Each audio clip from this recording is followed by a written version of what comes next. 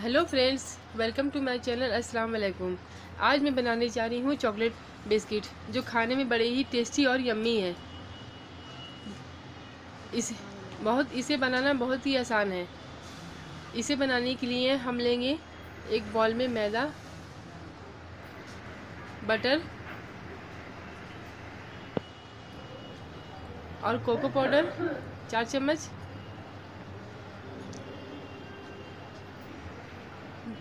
Sugar powder लेंगे, एक cup. अब बटर को मेल्ट करेंगे, इस तरह चम्मच से धीरे धीरे ताकि वो पूरा पिघल जाए।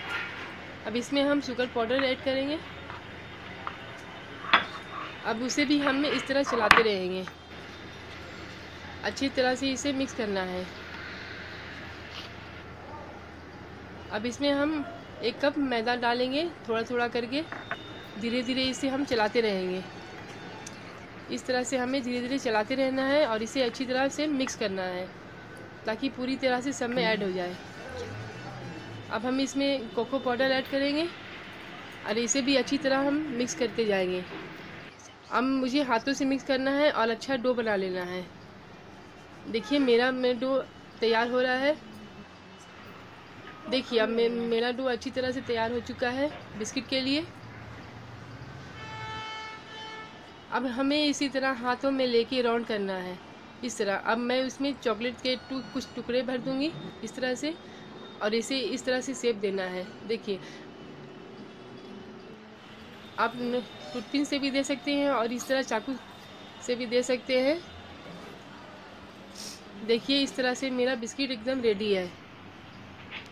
मैंने सभी बिस्किट को तैयार कर लिया है। इस तरह से मैं एक कढ़ाई में नमक डालूँगी, उसमें मैं ये स्टैंड रख दूँगी। अब ये मैंने जो बिस्किट तैयार किया है, उसे मैंने इस प्लेट में रखना है। इस तरह से मैं रख दूँगी, थोड़ा दूरी बना कर रखना है, ताकि वो अच्छी तरह से पके। मैं तो दिखला रही हूँ, लेकिन आप लोगों के इस तरह नहीं रखना है अलग अलग रखना है थोड़ी थोड़ी दूर में।